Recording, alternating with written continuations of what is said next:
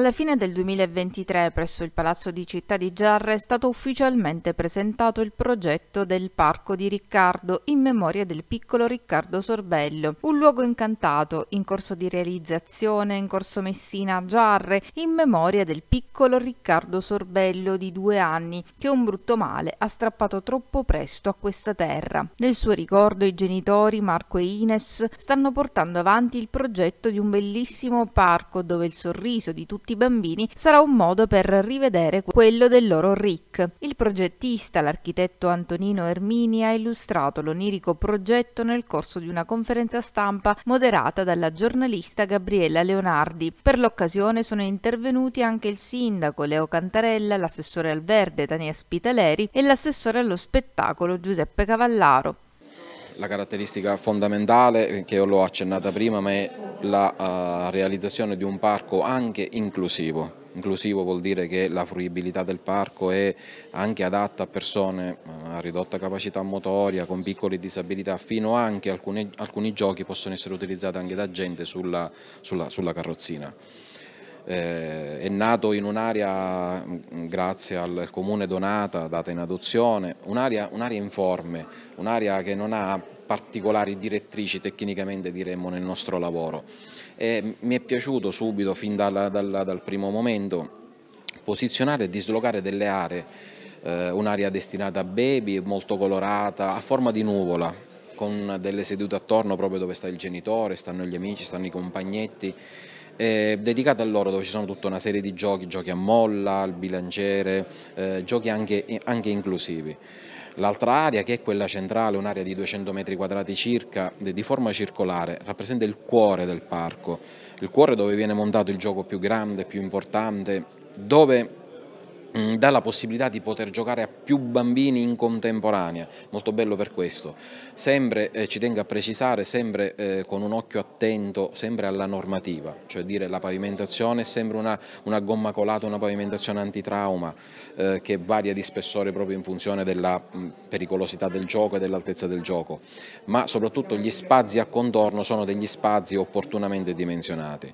Molto carina, che secondo me è una particolarità di questo parco, non non grande, però è, è, è, a mio avviso eh, è un punto di forza, una piccola area destinata alle rappresentazioni, un, quasi un palco semicircolare con dei tronchi di legno che da gioco fanno un percorso di equilibrio, ma da rappresentazione fanno anche delle sedute. E sono sempre presenti delle panche, che è stata la genesi del parco, le panche in muratura, curve,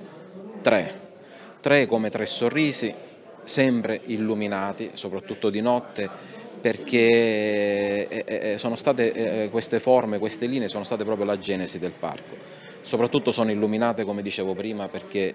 mm, voglio e, e, mi immagino che queste eh, tre linee curve, questi tre sorrisi sulla terra possono anche essere visti dal cielo. Il papà di Riccardo, Marco Sorbello, ha portato la contabilità della raccolta fondi spiegando quanto ancora ci sia da fare. Nel corso degli eventi natalizi Marco e Ines sono stati presenti a tante manifestazioni per continuare la raccolta fondi, ringraziando sempre con un dono, ma tante sono le iniziative che hanno già in programma per il nuovo anno. Allora, alla luce di quello che si è concluso oggi nella conferenza stampa, posso aggiornarvi sul fatto della, diciamo della raccolta fondi. Quindi, eh, come, come, ho detto in precedenza, abbiamo raggiunto un, un totale di, di 100.000 euro, alle quali si aggiungeranno 10.000 euro dello sponsor del banco BPM e in più eh, i fondi che verranno donati destinati dal comune di Giarre presso il parco di Riccardo, la nostra iniziativa, che sono già 20.000 euro, 21.000 euro che sono già stati spesi per la costruzione delle quattro piattaforme dove verranno implementati i giochi. E poi ci sarà un altro bando al quale nei prossimi giorni il sindaco ci ha promesso che mm,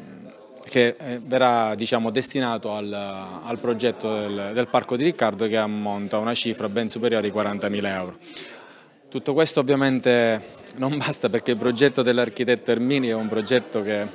è un progetto molto ambizioso, molto bello e, e quindi do, dobbiamo continuare a lavorare per raccogliere fondi attraverso sempre il nostro crowdfunding, la rete del dono che è sempre attivo su Sorriso Riccardo, i conti correnti bancari ma tutto questo li trovate sul sito www.sorrisodiriccardo.org quindi continuate a sostenerci perché ce la facciamo e, e Rick se lo merita. La vita è imprevedibile, non possiamo scegliere quello che ci accadrà, quello che possiamo scegliere è come reagire. Noi abbiamo scelto di reagire lottando perché Riccardo, il nostro piccolo eroe, venga ricordato in un luogo di incanto, ha dichiarato in conferenza stampa la mamma di Riccardo Ines Salanitri. Sì, è stato importante poter vedere, grazie alla presentazione dell'architetto, le immagini di come vorremmo che, mm, che fosse strutturato il parco. E mm, questo anche per stimolare la popolazione a non smettere di sostenerci, perché è vero che già una cifra importante è stata raggiunta, ma ancora non è purtroppo raggiunto l'obiettivo finale per poter realizzare il parco così come è stato presentato. Noi ovviamente ci impegneremo a garantire la manutenzione del parco nel lungo termine con tutte le eh, iniziative di organizzazione eventi e qualsiasi attività che possa essere utile per poter mandare avanti nel tempo in maniera eh, perfetta e organizzata al massimo tutto per come ecco, lo immaginiamo.